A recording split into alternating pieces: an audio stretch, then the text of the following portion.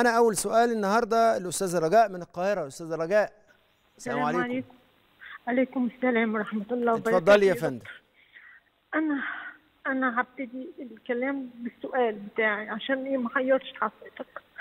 أنا سؤالي إن أنا واحدة عندي 70 سنة. 70 ربنا يديك الصحة. يعني نور وبركة وفضل وخير كتير إن شاء الله. أنا في مشكلة ما تتحلش طول حياتي. من أول يوم ارتبطت لغاية النهاردة مع الزوج اضطريت بقى إن أنا آخد مواقف كنت سلبية عشان أقضي السنين عشان الدنيا تمشي وعشان ما نعملش مشاكل وعشان ما نف- ما ننفصلش عشان خاطر البيت والأولاد. إحنا العشرة كام سنة يا حاجة حاجة رجاء أكتر من 40 سنة. أكتر من كام؟ 40 40 سنة. طيب.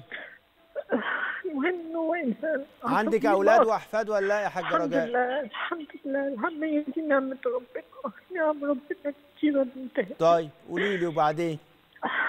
المهم إن هو إنسان عصبي لأقصى درجة انفعالي غضوب. كل الحاجات دي ما شفتهاش غير في العشرة. المهم يعني غلط غلط معايا كتير غلط في الإيد غلط في اللفظ فيا وفي أهلي.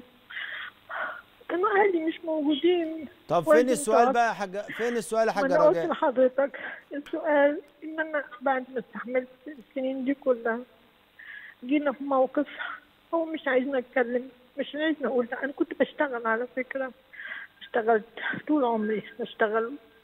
مم. بيتي. طيب قولي لي أنا بس يا حاجة رجاء معلش. السؤال ان كان في موقف حاد جدا منه حد لأقصى درجة أنا من ساعتها وأنا مش قادرة اتكلم كنا بنزعل كتير بس كنت بطلع بقالنا كام سنة على ده على ده؟ لا ما فيش سنة دي شهور. طيب. هقول لحضرتك نعمل إيه يا حاجة رجاء هقول لحضرتك. ويا رب هو يكون كمان سمعني. بص يا بص حضرتك. أنا عايز أقول لحضرتك حاجة. إحنا لما بنكبر بنحتاج للونس أكتر. صحيح لما بنكبر بنبقى حساسين أكتر. بس زوجتك دلوقتي بتقول لك أنا محتاجة لك. ومقتضى الشهامة والرجولة إن أنت كنت بتكلم الناس عنها وبت... وبت... ودايما بتقول إن أنت من من من من مكان يعني بيعرف يعني إيه شهامة ورجولة. وأهل المكان اللي أنت اتولدت فيه وعشت وعشت فيه جزء من حياتك. ناس بيحافظوا على. على على الستات. فعشان كده لازم أنت تقف جنب ست محتاجة لك وهي لحمك ودمك. وحضرة النبي صلى الله عليه وسلم قال إن من أعظم الإثم أن يضيع الرجل من يعول. أنت لسه حتى الآن بتعولها.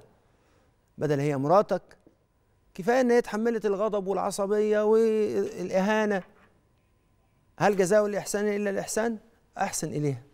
واتق الله. طيب وأنت بتقولوا لي أقول لك لازم أقول لك حاجة لأن المشكلات كلها بيبقى لازم كل واحد من الطرفين عنده حظ فيه. حضرة النبي صلى الله عليه وسلم قال خيرهما الذي يبدأ بالسلام. خليك أنت الخير وابدأي بالسلام. وما تقوليليش الله يسترك عملت كده كتير. ما هو الخلق ده بيفضل معانا طول حياتنا. فلذلك إيه اللي حاصل؟ نصيحتي ليكي إن انت تعملي بحديث رسول الله صلى الله عليه وسلم خيرهما الذي يبدأ بالسلام.